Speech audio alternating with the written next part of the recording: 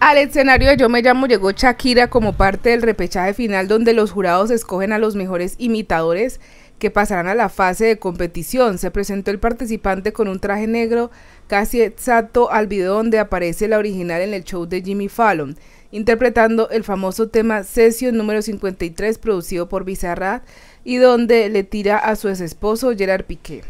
Fue tan impecable su presentación que César Escola, Amparo Grisales y Pipe Bueno se la gozaron y hasta la jurado lloró de la emoción. A mí me encanta, estoy tan emocionada que estoy que lloro, fue impresionante. Yo te digo que Shakira te ve y no sé qué hacer. Shakira tiene tantas voces y con este tema cambió su voz, la maduró más y es una voz que la maneja divino, dijo Grisales. Por su parte, Pipe Bueno la destacó como una de las mejores imitadoras que se ha presentado a lo largo de reality. Lo que hiciste fue increíble, sensual, sexy, mamacita.